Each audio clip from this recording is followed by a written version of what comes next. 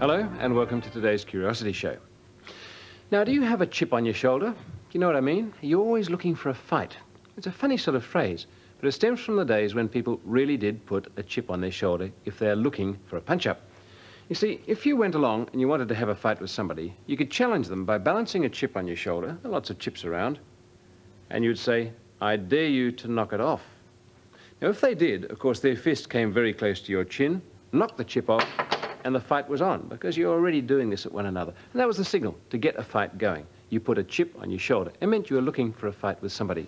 And of course, the fight would be on at the drop of a hat, which is another phrase we get from fighting. You see, in the old days when people had a duel or an arranged fight, they were very gentlemanly about it. They didn't start before the opponent was ready. In fact, they had a second or an umpire who gave the signal for the fight to begin. And as often as not, he would take his hat off, hold it out like that, and start the fight by dropping it. And so the fight was on at the drop of a hat. These days we don't do so much fighting, at least not arranged fighting, and the drop of the hat is more likely to be used to start sporting events or races. And so the contestants are off at the drop of a hat.